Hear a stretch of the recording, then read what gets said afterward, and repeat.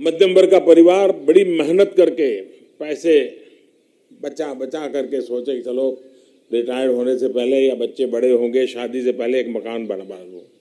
और वो बढ़िया सा स्कीम बढ़िया सा ब्रोचर देख करके फ़ोटो बड़ी शानदार हो, ऐसी टाइल्स है, ऐसा मार्बल है, ऐसी खिड़की है, ऐसा झूमर लटका होगा, ऐसे भांति भांति का बड़ा पढ़ करके वो पैसे दे देता है। और बस पैसे भी गए, मकान भी नहीं आ रहा है, किराए पर मकान में किराया दे रहा है, बैंक से पैसा ले रहा है ब्याज दे रहा है, मकान मिल नहीं रहा है। पाँच पाँच, दस दस साल से ऐसी योजनाएँ, कोई साठ परसेंट पूरी हुई है, कोई सत्तर परसेंट पूरी हुई है, कोई अस्सी परसेंट पूरी हुई है, मकान नहीं मिल रहा है।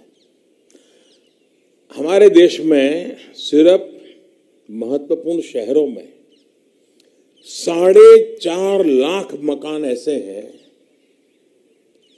जो किसी न किसी परिवार के पैसों से बने हक है उसका। लेकिन 10 परसेंट, बीस परसेंट काम अटका हुआ है और पाँच पाँच साल से अटका हुआ है। न उसे मकान मिला है, न पैसे वापस मिल रहे हैं, न उसका ब्याज कम हो रहा है, न उसका किराया कम हो रहा है।